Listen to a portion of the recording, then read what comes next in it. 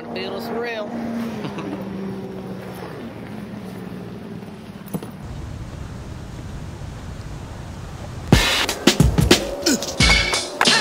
Are we on the air? Just about to build this pipe rail. We're uh, trying to keep it simple, old school, bringing the pipe rail out. Um, Project Pat hooked us up with some, um, some gear here, hooked us up with an old school pipe. Uh, hooked us up with some 4x4s. We're going to do three 4x4s going up into this pipe and uh, a simple T structure at the bottom. And uh, it's going to be a stand up, you know, move around type of rail. Eight and a half Build it. feet.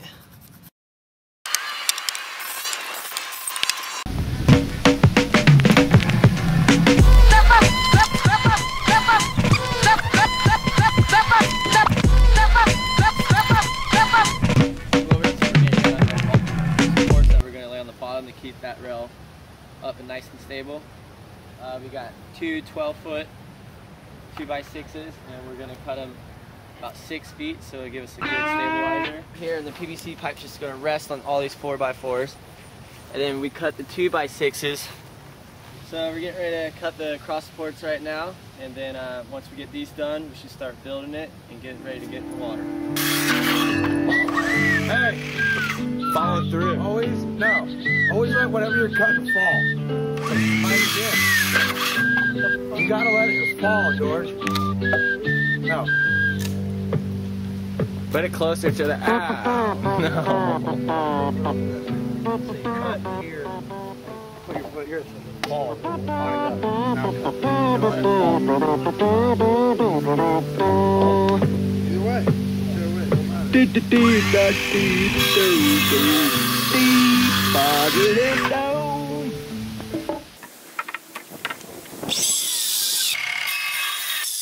Now!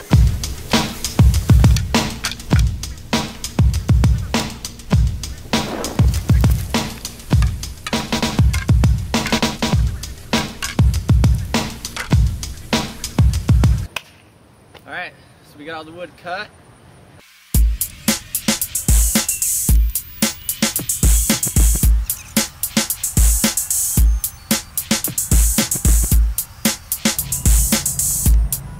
All right, we're just setting up. Uh, there's only two of us, so we're just setting up stakes to hold up the actual 4x4s and uh, get this thing looking the rail rail form.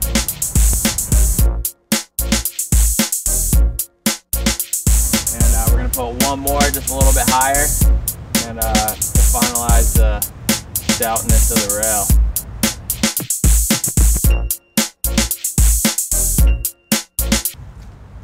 Coming down to the last straw. All we gotta do is line, uh, or drag this pipe over, put it on top, X out some spots where we need to put holes. Way to cool cut track. Come on, drummer.